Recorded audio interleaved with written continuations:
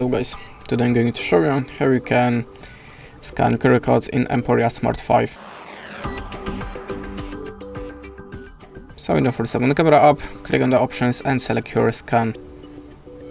Now just show the QR code to your device. And as you can see now we are redirected to the address from the QR code. And this is the way how you can do it. Thanks for watching, leave us a like or a comment and goodbye.